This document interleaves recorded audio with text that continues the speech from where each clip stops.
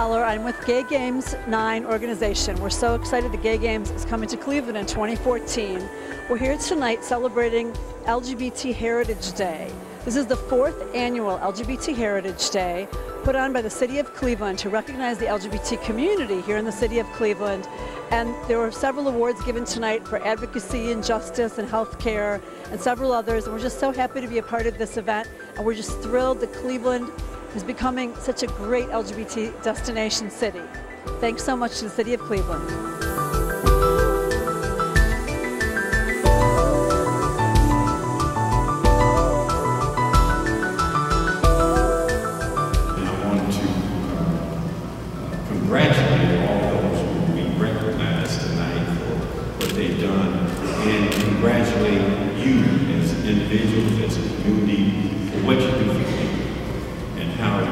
Make Cleveland what it is today and how you will make Cleveland what it will be in the future and how you are what makes Cleveland a great city.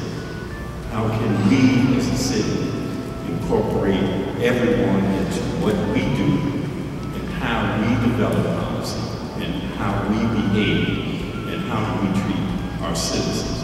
So again, welcome,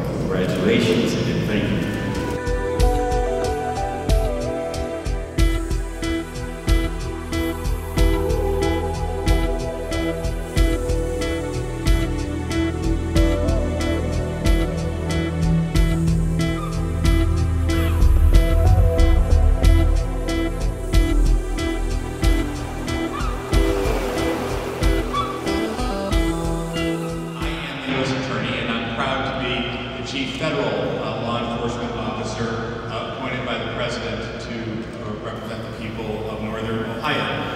And when I think about this event, and I've come to this event now three years in a row, uh, it's a great time to sort of talk about and think about uh, what's left to be done and the progress that remains in front of us for equality, but also take stock of some of the great strides that have been made in the year